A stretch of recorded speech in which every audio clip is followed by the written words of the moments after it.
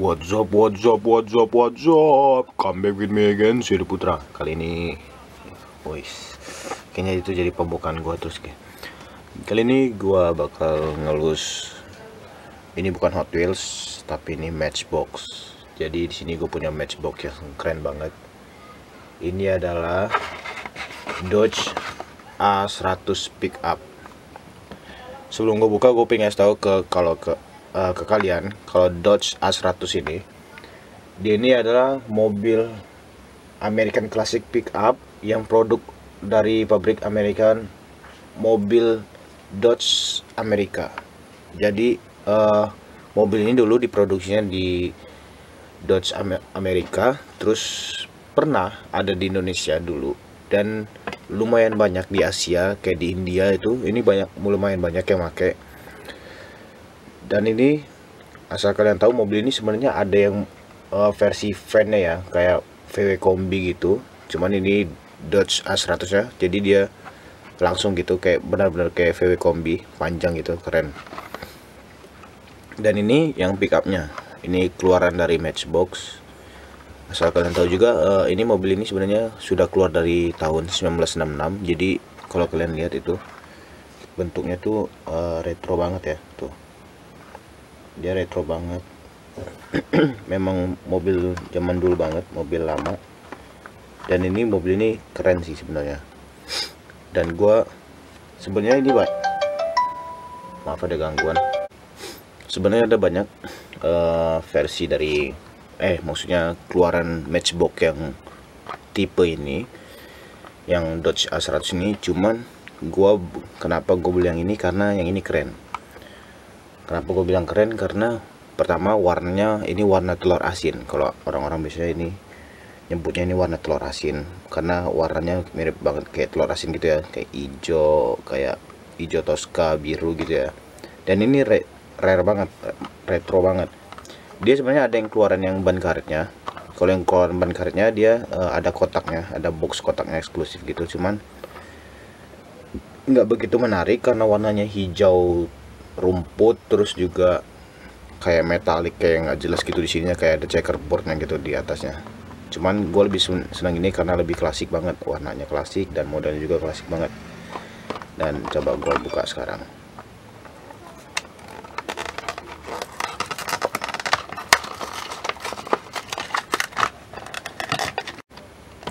Nah ini dia. Tuh ini singkirin dulu dan ini dia barangnya. Bisa lihat. Ini barangnya keren banget guys. Tuh. Ya. Jadi ini dia bannya sebenarnya bukan ban karet cuman modelnya lumayan keren ya. Ini kalau gua sih ngebayangin ini bakal ntar diganti ban yang karet yang ada list putihnya gitu. Dan kalau kita lihat dari depan lihat. Ini di bagian depannya keren sih. Nah, cuman sayangnya dia nggak ada cat lampunya jadi ya kurang keren. Tapi di sini ada tulisan Dodge nya terus juga warnanya bagus. Dan untuk kalian yang suka ganti-ganti ban di sini dia punya asnya yang pendek ya. Ini asnya pendek. Kalau uh, kalian mau ganti itu asnya kan biasanya kalau jual-jual ban kan asnya panjang-panjang itu harus dipotong dulu. Dan ini tipe bannya sekitar 10 ya 8 atau 10 gitu. Terus juga kalau kita lihat bagian belakangnya. Nah.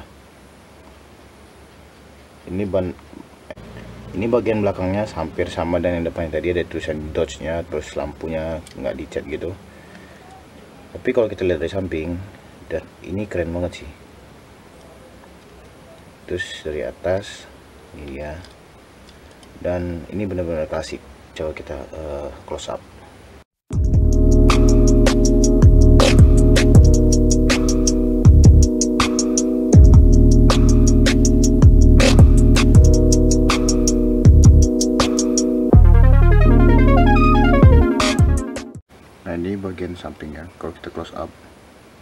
jadi kelihatan kalau di situ list eh, list putih di tengahnya ini benar-benar nunjukin kalau itu dia yang model lama yang klasik pas eh, keluaran keluaran pertamanya.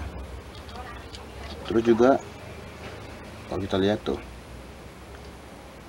ini sedikit keren ini bukan bukan sedikit tapi benar-benar keren karena ini retro banget. Ini kalau kita dia bannya halus ya. Ini sebenarnya kalau nggak ganti ban pun keren sebenarnya. Cuman kurang. Kalau biasanya anak-anak uh, diecast kurang asik aja kalau nggak diganti ban karet. Itu bagian belakangnya ada tulisan Dodge nya lagi itu. Tulisan Dodge nya terus ini mungkin untuk kalian yang suka detail mungkin nanti bisa di repaint ulang atau dikasih dekor untuk di lampu belakangnya dan lampu depannya. Terus juga uh, mungkin udah sampai situ aja. Ini di bagian atasnya tuh. Di bagian atasnya grill-grill dibuat. Ini untuk bahan custom keren banget sih. Apalagi biasanya anak-anak kan ada yang uh, di custom rusty. Itu keren juga sih. Kalau dibuat kayak gini di custom rusty terus dikasih kayak rumah-rumah jadul gitu. Itu bakal keren. Oke. Dan satu lagi gue pengen ngasih tahu ke kalian ada satu detail yang keren di sini yaitu lihat. Di bagian pintunya ada tulisan Dodge pakai font um, kayak font yang klasikal terminal gitu ya yang klasikal yang yang dia huruf sambung gitu. Tuh. Ini tulisan Dodge pakai huruf sambung dan ini benar-benar fontnya benar-benar tipis dan kecil banget ya. Ini kecil banget terus tipis. Dia ini ngebuatnya keren banget sih. Dia di, dia dia dibuat kayak gini. Ini jadi kayak uh, tandanya kalau dia ini benar-benar detail. Terus pionnya tuh. Pionnya ininya. Cuman minus di bagian lampunya aja sih sebenarnya. Tuh. Bagian lampu sini nggak di nggak dibikin lampu warna gitu sama dia cuman nggak apa-apa sih itu nggak bakal masalah.